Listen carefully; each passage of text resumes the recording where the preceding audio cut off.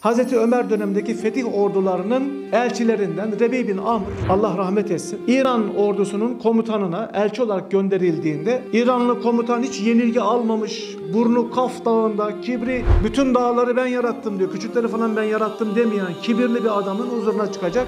Onların bütün debdebelerini, ihtişamlarını aşağılayan bir tarzda huzuruna çıkıyor, çadırına giriyor adamın ve orada neden geldiğimizi, bizim ne istediğimizi ancak diyor ki ne istiyorsunuz, niye geldiniz? geldiniz buraya kadar diyor. O da diyor ki biz buraya Allah'ın izniyle dileyenleri kullara kul olmadan kurtarmaya geldik.